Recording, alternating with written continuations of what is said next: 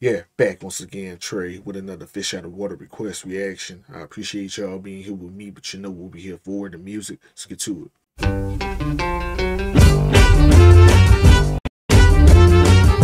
it.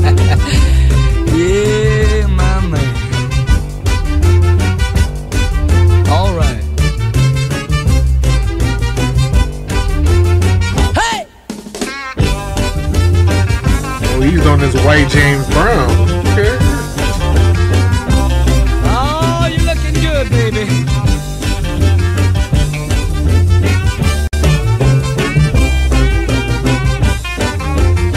I wanna tell you a story every man ought to know.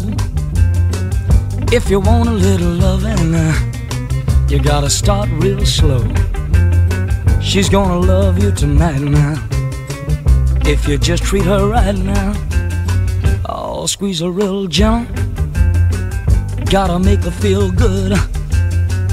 Tell her that you love her like you know you should. Cause if you don't treat her right, she won't love you tonight if you practice my method just as hard as you can.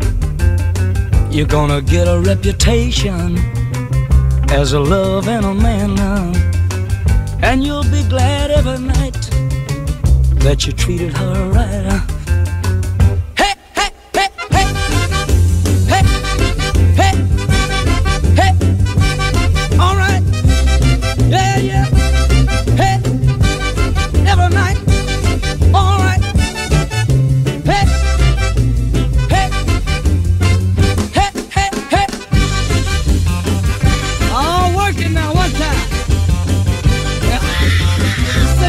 Baby, all right. All right. Hey. Hey.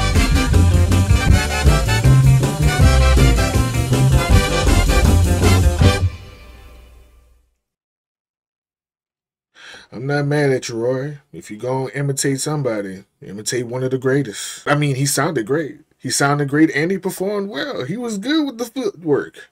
But then again, also in the same sense, if you can't afford to go see a James Brown at this time, because I'm pretty sure a James Brown ticket was a hot seller and it was not your average price, go see Roy. Roy nice.